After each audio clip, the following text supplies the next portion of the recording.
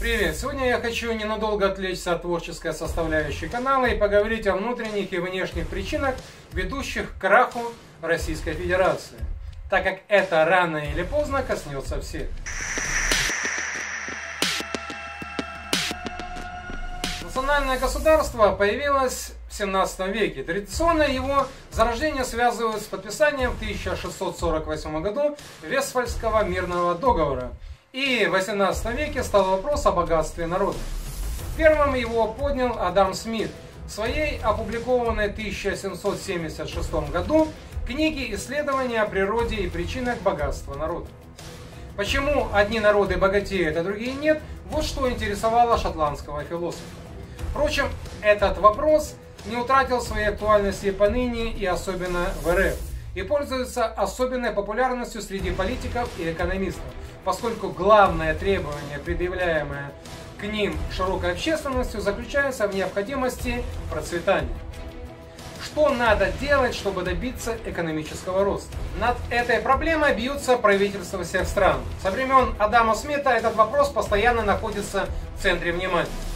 Сделать народ богаче значит повысить производительность труда. Чтобы повысить производительность труда, необходимо его разделить. Историю экономики можно представить как историю разделения труда. Отсюда берут начало создание крупных предприятий, эффект масштаба, концентрация производства и знаменитая синергия. Адам Смит и его последователи, в том числе Маркс, показывают связь между трудом и капиталом.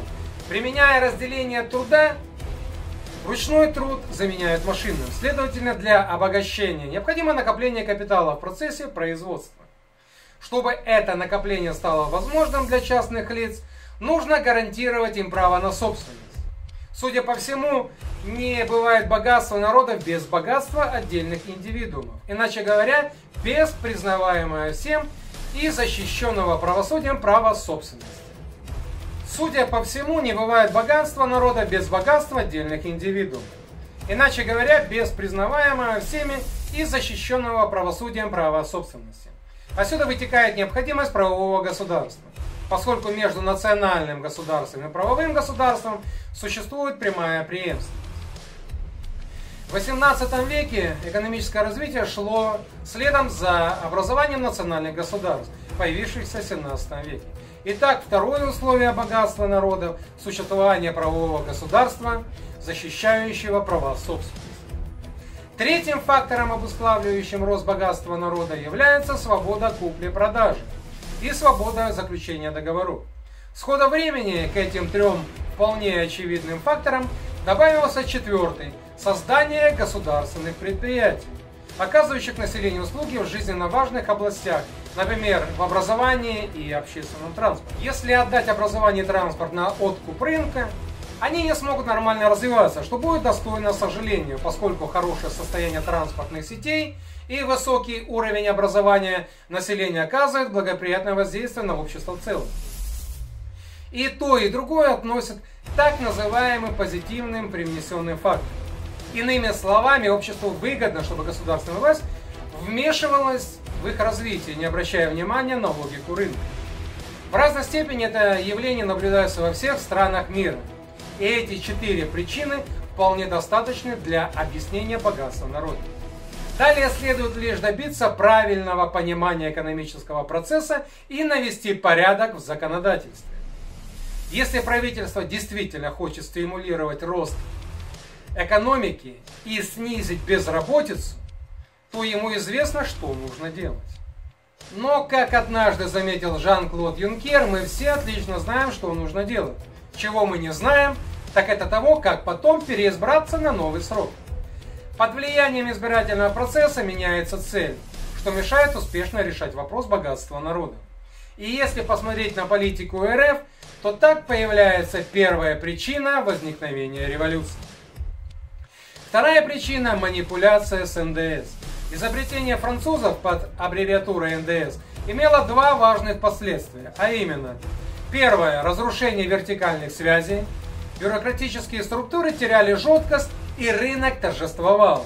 Второе. Рост производительности труда и рост объемов производства. Поскольку это решение является стратегическим, стратегическим, оно и должно приниматься исходя из стратегии, а не из фискальных соображений. Следующая причина – отсутствие конкуренции. Конкуренции угрожает не национальное государство, а предприниматель, который строит свою стратегию на стремлении избежать конкуренции. Адам Смит сказал, что в любой отрасли торговли или производства интерес купцов всегда несколько отличается от интересов общества, а иногда и прямо ему противоречит. Купец всегда заинтересован в расширении рынка и снижении конкуренции. Часто бывает, что расширение рынка отвечает и общественному интересу, но снижение конкуренции ему всегда противопоказано.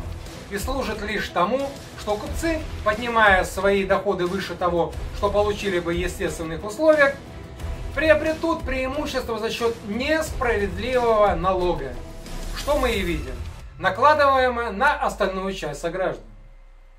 Следует с большой подозрительностью относиться к любому предложению о введении нового закона или торгового уложения, выдержанного в подобном духе, и принимать его только после долгого и тщательного изучения, уделив ему особое внимание, заранее воспринимая с недоверчивостью.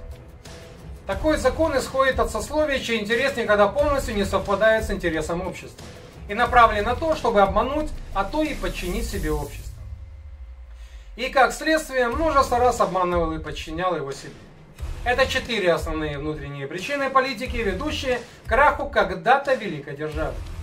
Теперь рассмотрим внешние причины. Во внешней политике всегда надо учитывать не только преимущества, но и недостатки. Иными словами, необходимо осознавать свои, сильные и слабые стороны, а также сильные и слабые стороны противника. Но также необходимо умение анализировать окружающее с точки зрения потенциальных угроз и благоприятных возможностей. Политики, как и в экономике, должны ставить вопрос об оптимальном использовании ресурсов. Это основной вопрос жизни и развития. Стремление быть сильным во всех отношениях представляется стратегически проигрышным с точки зрения расходования ресурсов. Также политика РФ остается глухой к месседжам, посылаемым реальности. Стратегия в политике должна отвечать двум требованиям. Быть внутренне непротиворечивой, это гипотеза конфигурации, и адаптированной к реальности и вести к успеху. Это гипотеза конгруентности или согласованности. Когда внешний блеск важнее успеха, идея важнее реальности, а конфигурация доминирует над конкурентностью, что происходит довольно часто, совершается стратегическая ошибка игнорирования реальности. И в конечном итоге эта ошибка приводит к самоинтоксикации собственным умом. Также концентрация на мелких целях привела к потере главного экономическому развитию и способствованию процветанию своего народа. Во времена Советского Союза очень искусно троллили Штаты, в особенности Киссинджера, использовавшего в своей деятельности труды Николы Микиавелли. В те времена с него семь потов сходило, когда он пытался выторговать для Штатов каких-либо незначительных уступок. Это с Китаем всегда было легко договориться, так как они следуют простому постулату «ты мне, я тебе». Сейчас же политика РФ свелась к тому же следованию учению Макиавелли по его трактату о политике государя и современным записям Киссинджера, которому в РФ были готовы лобызать не только руки. Макиавелли анализировал примеры из античной и современной ему итальянской истории и с их помощью показывал, как стать, а главное как удержаться во главе государства. Макиавелли жил в беспокойное время, когда повсеместно шли войны за власть, а политические убийства были делом вполне обыденным. Если, согласно Платону, властитель обязан был в своих действиях руководствоваться добродетелью и моралью, то есть отдавать предпочтение этике перед голой эффективностью, где нельзя безнаказанно лгать, так как, занимаясь махинациями, всегда рискуешь нарваться на большие неприятности. И это собой само собой разумеется, то Макиавелли обращался к своим современникам, призывая их к двойственности. Макиавелли не верит в добродетельную власть, но не потому, что человеку власти это всегда какое-то извращение чуждой всякой добродетели, а потому что природа власти такова, что не позволяет человеку оставаться добродетельным. Добиться власти и сохранить ее можно лишь одним путем, путем обмана. Значит, приходится лгать, хитрить, мошенничать, лавировать, манипулировать окружающими и скрывать свои истинные мотивы. К личной этике все это не имеет никакого отношения, поскольку такова природа власти. Но народ, как правило, ждет от политиков именно добродетели.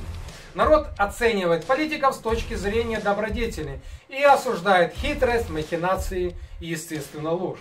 Игра в этих обстоятельствах приобретает двусмысленность, поскольку люди судят о вещах в соответствии с правилами, которые не являются реально законными. Самые цитируемые его высказывания «разумный правитель не может и не должен оставаться верным своему обещанию» если это вредит его интересам и если отпали причины, побудившие его дать обещание. Правитель должен скрывать свои мотивы и идти на обман. Надо быть изрядным обманщиком и лицемером. Люди же так простодушны и так поглощены ближайшими нуждами, что обманывающий всегда найдет того, кто даст себя одурачить. Народная мудрость нашла выражение той же мысли в поговорке «обещанного три года ждут». Но действующая власть так увлеклась собственными интересами и интересами ближайшего круга, забыв, что по тому же Макиавелли мир – это арена борьбы, на которой без конца сталкиваются разные силы. Это суждение справедливо как для государств, так и для отдельных лиц. И, разумеется, для тех, кто обладает властью. Никакая власть не может быть установлена навечно, поскольку сама природа власти предполагает конкуренцию и борьбу. Обладание власти в любой момент может быть оспорено, а властитель свергнут.